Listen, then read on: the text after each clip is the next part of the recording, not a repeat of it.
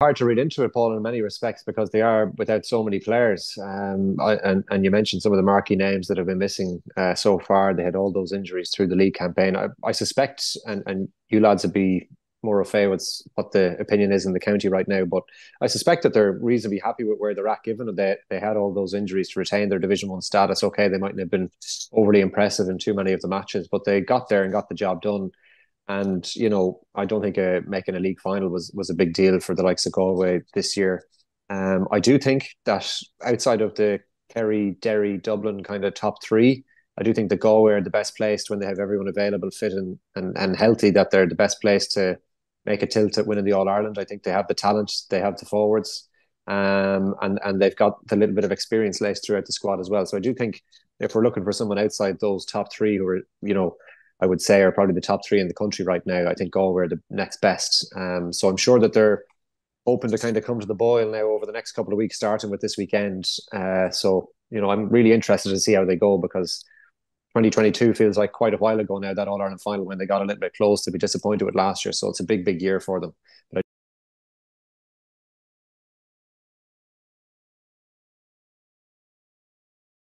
The Maroon and White Pod brought to you by CityLink. For bookings, timetables, updates, and any other information, head to citylink.ie. You're welcome along to the Maroon and White Pod. This week, we're looking ahead to Galway versus Sligo in the Connacht semi final, uh, where it now takes place in Markievicz Park. It's not streamed um, on GAA Go, won't be on RTÉ or anything over the weekend, so you pretty much have to be there or be listening in on the radio to hear anything about this match. But Barry, coming to you first, is the game in the right venue this weekend? Well, it is for Sligo. Um, oh yeah, look, I, I think I think the general sense after the game was that that the game would be in Markievicz Park. Um, you know, and Galway have accepted that I think without too much fuss. Um, and that would be Pádraic's style. I, I I don't think he would have. You know, he doesn't like a lot, an awful lot of distraction. Um, they, you know, they went. They were in London this week or last week, and you know they would have been focusing fully on on hitting to Markievicz Park on Sunday, and and um, I think for Tony McEntee, he he made it clear after the Leitrim game that he fully expected the game to be there, and I, I don't think he like I don't think a manager puts himself in that position if he has any doubts over where the game is going to be. You know, he he wouldn't leave himself um, open to any sort of, as I said, distraction. So I think he probably he probably had the inside track. He knew the game was going to be Markievicz, and uh, it is where it is now. And all roads lead to Sligo for for for the weekend, and hopefully we get good weather and uh, good scenery and good football. Cathal, after last year's hammering really that Sligo got in the Connacht final, are you happy to see the game take place in Markievicz Park? Maybe just to even things out slightly. Ah, yeah, definitely. I think home advantage is always key, and particularly Markievicz Park, it tends to be a, a, tough place for teams to go. Um, Sligo had a couple of good results there in the league. They beat Westmeath, which was probably the standout result for them in the last round of the league in Markievicz. And you know, generally speaking, they tend to be quite difficult to beat there. Now, the last time the Galway were down, I think it was um, was it 2019. They they won fairly comfortably. Now, Sligo were at quite a low ebb that time. I don't think they won a game in, in 2019 in the league or championship. But you know, I think there's um not an air of confidence, but I think there's a, a hope that Sligo can certainly lay a glove or two on Galway this weekend. Whatever about winning the game, I think Sligo are in a good position to to have a crack at it, and the fact that it's in Markievicz as well should help them in, in closing down that gap. But still, I mean, regardless of where the game is going to be played, Paul, it's going to be Galway huge, huge favourites. I think. How do you see this game on Saturday, Barry? Um, yeah, like firstly, I I don't think the venue has anything to do with uh, the game being ev- evened up a little bit. Um, Galway were, you know, by far and away the better team last year, no doubts about it. Played some really, really good football. Had one of the great Connacht final performances in Matthew Tierney. But there's no Matthew Tierney this weekend. There's also no Damien Comer. There's also no Ian Burke. There's no Peter Cooke. Possibly no John Maher. Possibly no Shane Walsh. And no Cillian McDaid. Take them out of any team and it evens things up big time. And I think for Sligo and Tony McEntee, if if they're ever going to have a cut at one of the top teams, they've had a nice win over Leitrim. They had a really relatively good league campaign, mid-table Division Three. Never in any doubt that they were, you know, going to hold their own Division Three. Uh, lots of good young players coming through. Yeah, they're down a couple of bodies, but this is a weekend. I'm not, I'm not saying Sligo are going to win. I, I still expect Galway to win, but if Sligo are ever going to have a crack at one of the top teams in, in the province, it has to be this weekend. And if it isn't, I personally, if I was in Tony McEntee's boots, I'd be very disappointed with that. Does that give you hope, Cathal, this weekend? Yeah, as I say, I think Sligo will be quietly confident that they can uh, lay a glove on Galway this weekend. Um, you know, the, the league campaign, they're probably looking back at the Division Three campaign, maybe a small bit disappointed that they didn't actually get promotion. If you go back to the first day, they lost narrowly to Clare, down in Clare by a point in kind of a frantic finish. Uh, they were soundly beaten by Down and they drew it awfully, but there was lots of good stuff in the league uh, all the way through. The young players coming through, Canice Mulligan has emerged, particularly in the last couple of weeks against Westmeath, and then was really, really good against Leitrim in the championship. Now he's going to be really tested this weekend if he starts in the middle of the park where Galway have a lot of experienced bodies. Um, but it is an opportunity, and I think you know with the the young players that Sligo have coming through now, hopefully over the next three or four years from the good under twenty and minor teams, you would be hopeful and probably expecting, you know, if we can get those guys through, that Sligo can start to compete a little bit better with Mayo, Galway, and Roscommon. It's a while since we've had a, a statement win. If you, I probably have to go back to probably 2015 when when Sligo beat Roscommon in Markievicz uh, and then subsequently got hammered by Mayo in the final. You know, it's that long ago since Sligo made a dent in the provincial championship, and it's probably time now that the county started to to contend a small bit better in, in the provincial championship, which I think is a realistic goal. Um, so for me, I think if they can certainly hang in there against Galway at the weekend for 45, 50 minutes and make it competitive coming down the stretch, that'll be progress after that heavy defeat last year in Castlebar.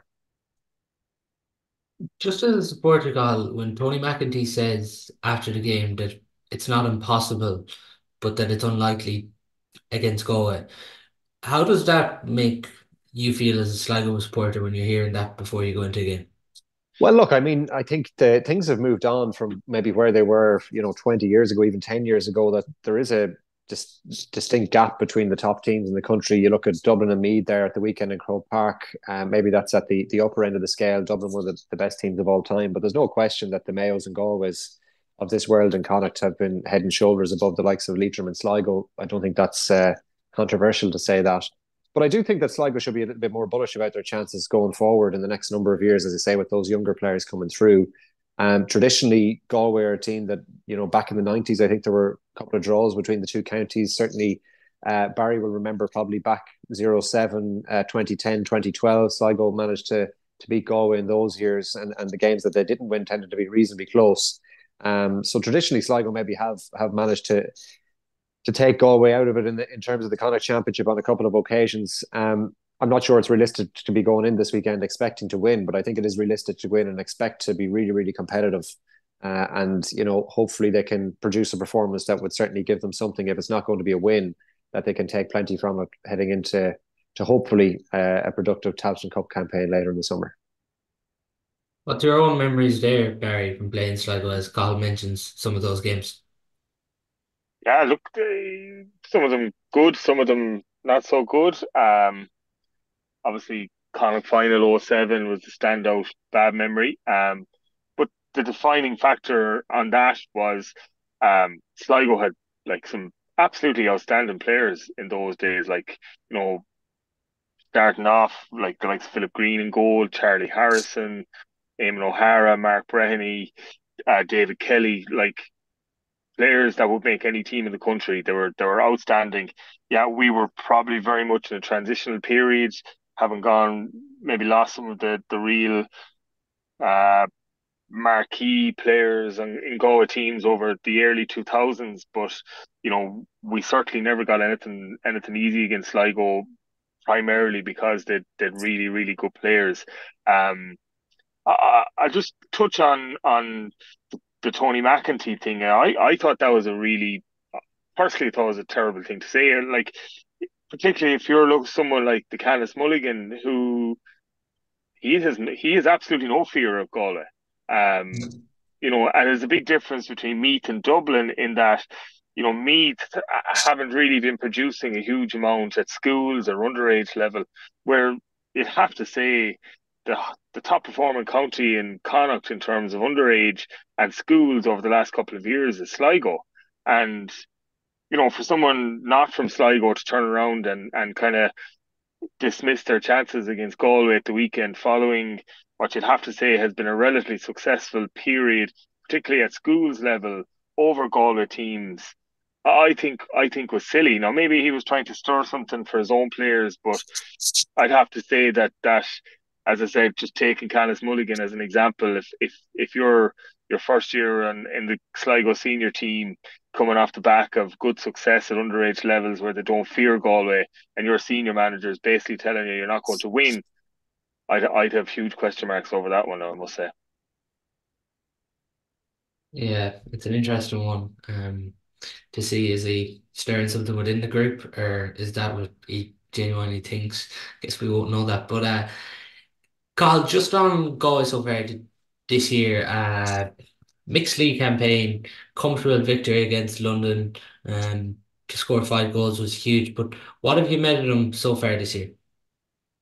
Well, it's it's probably hard to read into it, Paul, in many respects because they are without so many players. Um, and and you mentioned some of the marquee names that have been missing uh, so far. They had all those injuries through the league campaign. I, I suspect, and and you lads would be more of what's what the opinion is in the county right now. But I suspect that they're reasonably happy with where they're at, given that they, had all those injuries to retain their Division One status. Okay, they mightn't have been overly impressive in too many of the matches, but they got there and got the job done.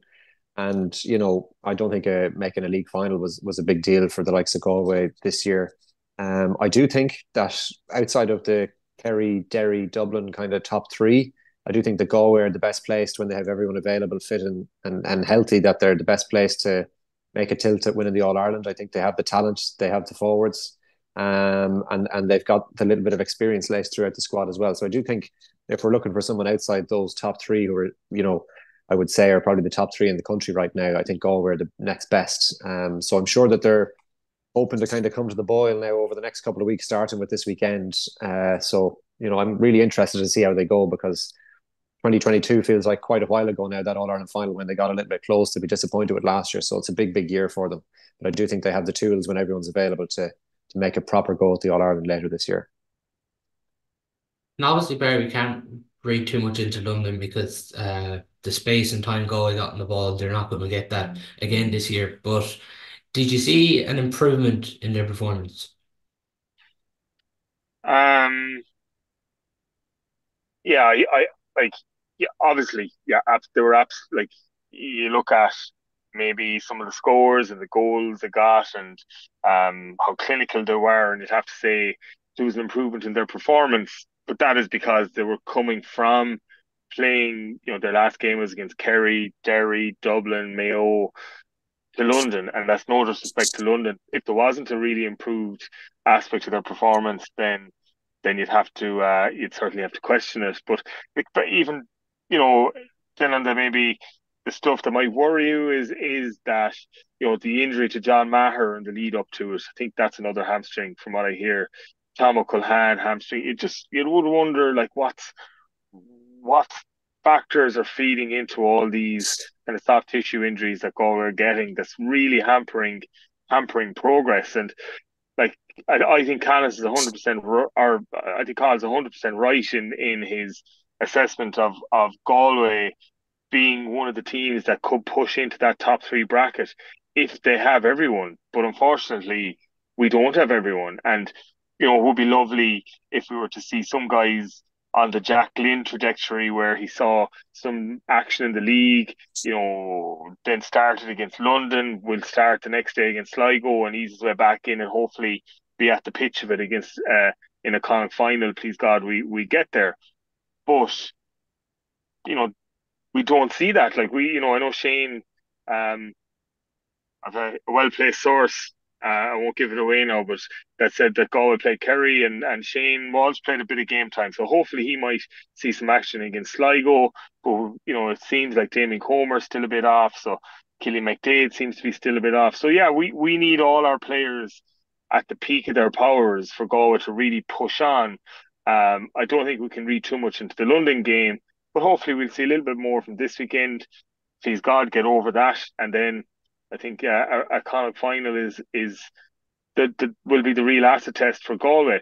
But on uh, you know, at the back of our minds always, particularly for Galway management, is that they're going to be in that knockout stages of the All Ireland Championship, and you know they could be saying to themselves, "Yeah, right. Look, we need all these bodies back. Do we need them back for a tilt to the Connacht Championship, or do we need them back for a tilt at All Ireland?" And they're probably saying, "We need them back for a tilt at All Ireland, and let's try and get the bodies back on the pitch for that, rather than against Sligo in a Connacht semi final."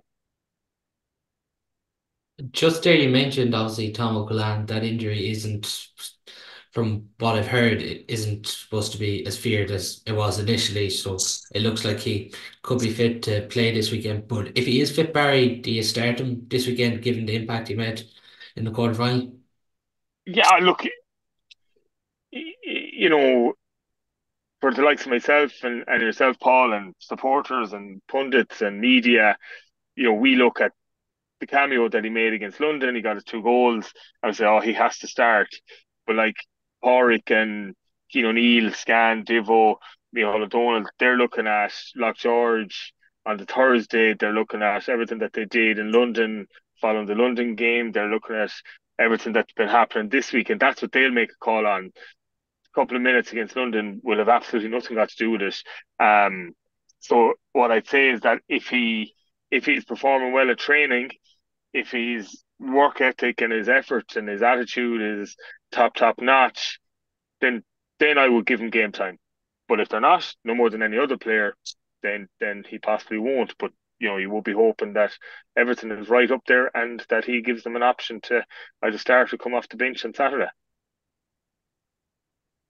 How do you think Sligo are going to match up defensively here, Cathal, against a couple of the goal key forwards, the likes of your Robert Finnerty's and Cillian O'Carron's in particular?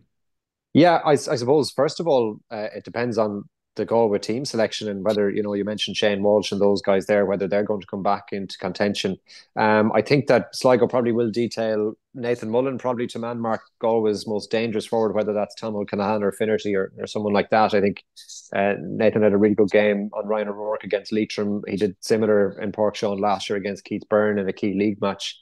He's probably Sligo's uh, one of Sligo's top defenders. Then you've got Evan Lyons, who's a, a tidy marker in the full back line as well. Um, I'm interested to see how Sligo approach it defensively because it's a very difficult uh, thing because obviously Galway have guys that can kick scores from range. You look at Paul Conroy back in the team now, and he'll be able to dictate matters if Sligo drop too deep that leaving too much time on the ball for the likes of him to pick passes or kick scores from around the 45, particularly if there's a bit of a breeze behind Galway at any stage on, on Saturday. So it'll be interesting to see how Sligo uh, take that on. And even defensively against Leitrim, I thought it was noticeable that, um, particularly into the breeze in the second half, now it was a gale force breeze, but Sean Carrabine played quite deep. He was named to start at midfield. He wore number eight. Uh, Niall Murphy, who was Sligo's best forward on the day and, and looks really, really sharp, which is encouraging from a Sligo point of view. But he also dropped quite deep into the wind as well. Um, so I'm sure that, that Tony McEntee and Joe Kane and the Sligo management team will will have a game plan in place. Obviously, they'll have to be a small little bit more conservative against a Galway team playing in Division One, and you know with the quality of forwards that they have. But I think Sligo have the opportunity to hurt Galway at the other end as well, with the likes of Murphy, Sean Carrabine. I think uh, they're as good a forwards as you'll find anywhere in the province. And Sligo have a lot of pace, uh, particularly coming from that half back line as well. Nathan Mullen got forward to kick two scores the last day, as well as Mark and Ryan O'Rourke at the other end. So I do think Sligo have the opportunity to hurt Galway the other end, but they will obviously have to be maybe a little bit more conservative and dropping bodies back in behind the ball the next day. Does Sean Kelly really though pose a huge threat now for Sligo, particularly when he's further up the pitch for Galway now?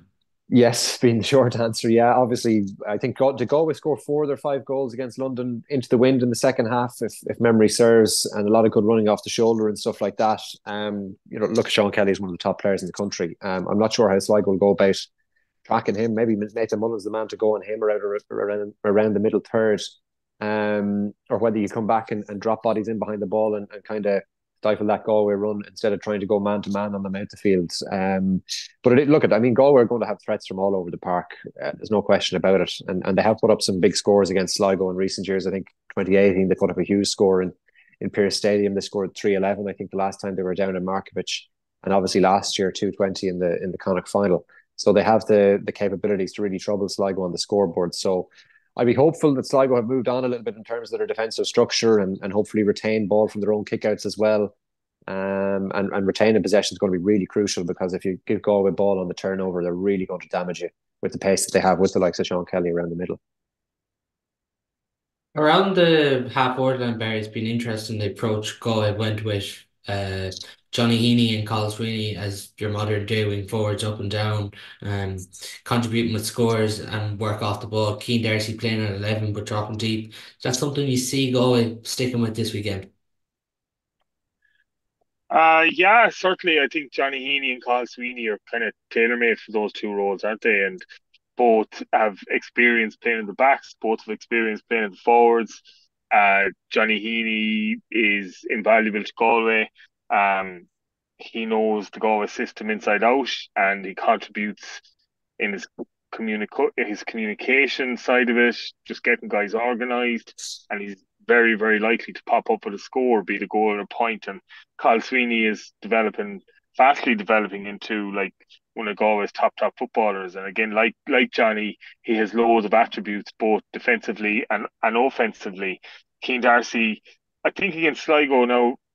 Uh, you know, Sean Carrabine's big man, but I'm I'm not sure. Like even look at Canice Mulligan, like he's not the biggest in the world. Um, and I think it, I think Galway might look and try and target Céin D'Arcy as being a primary possession winner, particularly when Conor Gleeson has such a, a good thump in the ball that it might try and uh, you know, if if Sligo does decide to put a full press on a Galway kick out, I think Galway might have an advantage there in having the likes of Céin D'Arcy and Paul Conroy. I think they might have a physical edge over over the Sligo lads. Um, so I think I think Céin D'Arcy will start. Will will he be there? You know, come the championship, quite possibly, and he quite possibly might just drift, find himself naturally falling into one of the midfield berths and, and looking at a midfield trio of of kind of John Maher, Paul Conroy, and and Céin D'Arcy, and kind of fight it out for who who partners Paul Conroy, and then Cillian McDaid. Hopefully, will come back into the mix. So having Céin back is a great. It's a great addition to Galway. He's a very good attitude, a good guy around the place. Sorry, just there, sorry, because I know he worked with Céin at under twenty one level, but what is it about his attitude? Because you can even see during the league there, he was just given 40 minutes some days and he just emptied himself and there was no more and there was no whinging after he was given 30 or 40 minutes in some games. Yeah, you just you summed it up there. He just he's he's he's honest. He gives you everything. He's easy to talk to. He's easy to coach. He, you know, if Paul Joyce told Céin D'Arcy to go in corner forward and stand on top of his head, he yep, that's that's his job. He'll go and do it. And guys like that around the place are invaluable. And um, in the dressing room, he's good. He gets on with everyone.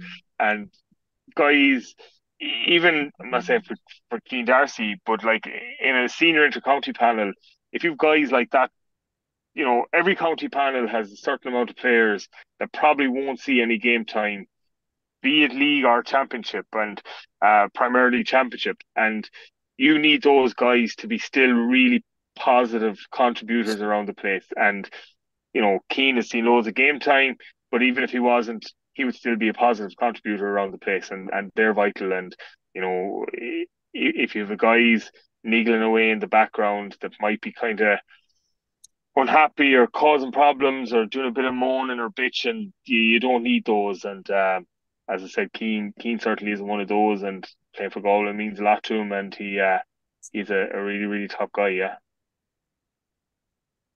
Just on Saturday then, Cathal, what kind of game do you expect here? Well, I expect Sligo to try and keep it quite contained as much as they can, uh, particularly in the first half. Now, conditions have played a big part in the first two weekends of the championship, and you know, last weekend, um, the wind and stuff like that makes a big difference. And Markievicz Park tends to be a ground where there will be a bit of wind uh, blowing maybe into the the dressing room end goal. Um, you know, I, I, from a Sligo point of view, I'd be hoping that they can keep it tight and and that they can contain Galway. I think not conceding any goals, particularly in the first half, just to have themselves in there at half time would be key. um, you know, if, if space does open up and the, and the game opens up in the in the second half, both teams have some really good forwards on the pitch. I'd be hoping that's from a Sligo point of view that they can get the ball to to Sean Carrabine and Niall Murphy. Um, Alan McLaughlin's another player that's come into the team from from St. Gael. He's a really good underage player for Sligo um, over the years, and and he's a player that can kick scores from distance as well. Um, but yeah, from a Sligo point of view, I think certainly if they can keep themselves competitive for 45, 50 minutes and be in the mix with 20 minutes to go, I think that'd be a, a really good outcome. And, you know, I think if Sligo are there and they will have a little bit of belief uh, going into this and they, they will, even if Tony McEntee is saying one thing uh, to reporters, I think he'd be saying maybe something else to the players. And I certainly know that the players will feel that they can they can really push this at the weekend. And I think if they're there with 20 minutes to go, home crowd behind them, and that little bit of belief, having held Galway for that long, and Galway maybe without some of their marquee players, that that it could get tricky for for Galway coming down the stretch. At least that's what we're we're hoping for, for from a Sligo point of view. But I do think that if Sligo can keep it tight up until then, and they can, it opens up a small bit, that their forwards can do a little bit of damage in the closing stretch. Barry, just something we haven't touched on from a Galway perspective. Niall Murphy and Sean Carrabine playing a lot of their football at the minute uh, in the forwards for Sligo, but their, their two key matchups Galway are going to have to shut down from the start.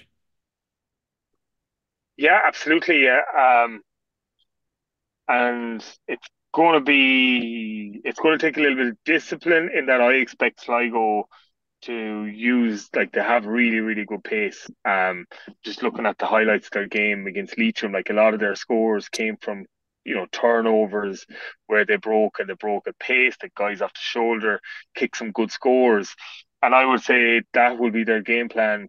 Like in fairness to them, last year they tried to come out against Galway and they tried to play football and it was a bit open and like they just leaked scores at the back. And I think what they'll be trying to do this year is as as Cathal alluded to, is keeping it very tight, getting a lot of bodies back, and really trying to catch goal in the counter attack. So if you're the likes of Sean Fitzgerald, you know, if you're picking up Sean Carrabine or if Johnny McGrath is picking up Niall Murphy or Jack Glynn picking up Niall Murphy, how far do you actually go to put a squeeze on them if they get a turnover without leaving yourself exposed at the back if they break the first line of defence? So tactically it'll be very interesting because, you know, and it'll be a good test for Galway in that how can they pick apart the Sligo team as I, you know, as we said that we think are trying to going to keep it very compact at the back. A lot of Galway forwards are inexperienced, um, and that's why it will take the communication of the Paul Conroy, the Johnny Heaney's, and that kind of uh, movement up top of Rob Finnerty to try and pick open the Sligo defence. And as I said, defensively for Galway, it's how far do they push that they can actually have an impact in the game not clogging things up or just getting bodies up there for the sake of it without leaving themselves exposed at the back. And that's the, I suppose that's why they have, uh, you know, that that's why Pádraic and his management team are there. They're there to try and get that plan in place and get it in place in a in a correct manner. A lot depends, Barry, you feel on how Galway approach this. If they're on it from the start, they they'll want to put this game uh, to bed as quickly as possible because if the Sligo crowd um, get behind he get behind the Sligo team here and the game goes on for longer, it turns into a bit of a banana skin. But like if Galway to come out of this, it's big for the group considering everyone we said they're missing.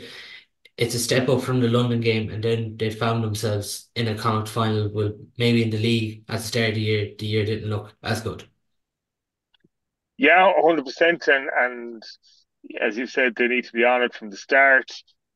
Be patient. You know, even though they're a massive win last year, you know, it didn't happen automatically for them that they went out and went, you know, five or six points up straight away. Uh, they need to be clinical. They will get goal chances. You know, that power and pace that's in Division One football will see them get chances, and they need to be trying to be clinical. Um, I think for Galway, the big thing is that if they do get a goal or if they get a bit of a dominant period, that they try and make hay and they get another score, you know, that that old like four point goal, try and get a try and get a goal and, and then get the next score on top of that. Whereas for Sligo, what happened last year a bit was, you know, they were being competitive and then Galway would get a score. You know, Galway might get another one that would just put it beyond Sligo. And then Sligo would be competitive again and then Galway might get another goal. And then you know, it just puts the game the game out of reach. So I'd say for Galway, it's build first of all if they get a goal chance, be clinical, build on that goal chance, and then for Sligo, it's if Galway do happen to get a goal, that you know they don't concede the next score, and I think that's always important when you have a team, you know, that's that's in Division Three against a team that's that's in Division One. How do you see it going, Cathal? Well, I think I think Sligo can be really competitive, as I was saying. I think I think they can keep it competitive for, for 50 minutes, and then you're kind of hoping that they've got enough momentum and energy at that point to sustain it for the, the final 20. Um, a lot depends on Sligo's efficiency. I think they kicked a lot of bad wides against Leitrim the last day. They had the win in the first half, and it took a little bit of while just to to get the radar in. Obviously, they won't have as many chances this weekend, so they need to be more efficient. But I, I do think Sligo are in a good place to to really challenge Galway this weekend, particularly the fact that Galway are without some some key players. I think it might be a stretch given the gap that was between the teams last year to suggest that Sligo can can win here. But I do think that they can be within the shouting distance with, with 15 or 20 minutes left to go. Galway might squeeze through by by four or five. I'd be hoping that Sligo can keep it that tight uh, with, with 20 minutes to go that they're in with a shout. But I think it's hard to suggest anything other than a, a Galway win. But I would be quite quietly hopeful that Sligo can can mount a really good performance here. And and you know who knows in Championship football what might happen if they're in the mix uh, when the game's in the melting pot. But but I would suggest that Galway probably do have enough um, with their physicality, with the experience of playing Division One football, uh, and with the fact that they they've got such a strong squad and a bit of depth in their squad now that they, they should pull through even without those key players. Do you think Sligo can win this weekend? I do. I think it's a very slim chance, but I think uh, you always have to have hope, um, and particularly, you know, with the the momentum that they've built up, they're under Tony McEntee now for for a number of years. They've got a, a pretty set system. Um, there is a, a confidence coming into football in the county now, given the underage success uh, of the last few years. That that things are on the up. Um, our under twenty team have done really really well to lift the fortunes of the county. There's a a new interest. I think now a lot of those under 20 players have still to come through to the senior setup, but they will gradually come in over the next number of years. Uh, and Canice Mulligan is leading that at the moment. But I do think that Sligo can win. I think it's a very slim chance. I think Galway will have to underperform. Sligo will have to play probably the best they've played under Tony McEntee to, to be there with a chance. But th- there's always a chance in Championship football, I think. And Barry, why do you see Galway having too much this weekend? Yeah, I do. Um, I think it'll be tighter, much much tighter than it was last year, and I think Sligo will have learned lots of lessons from last year. Um, and and I'm not going to go back to all the guys that Galway are missing, but but that's a big factor. Um, I would see it maybe 10 minutes into the second half, it's still been a couple of points in it, and you would hope that Galway's uh, greater physical power and pace and strength will get them over the line in that, and I and I and I think it will.